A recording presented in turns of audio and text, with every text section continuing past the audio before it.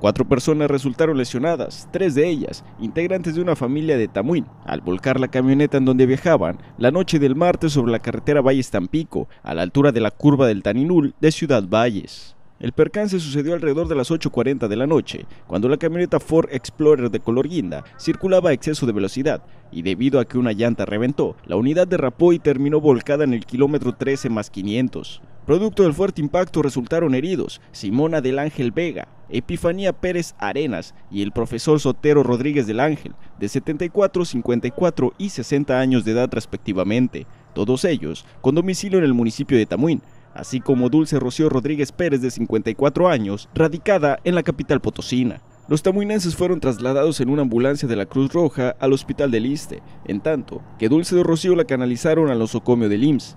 Elementos de la Policía Federal y la Municipal acudieron para tomar conocimiento del accidente y ordenar que fuera remolcada la camioneta por una grúa hasta el corralón. Con información de Rolando Pérez, El Mañana Multimedios.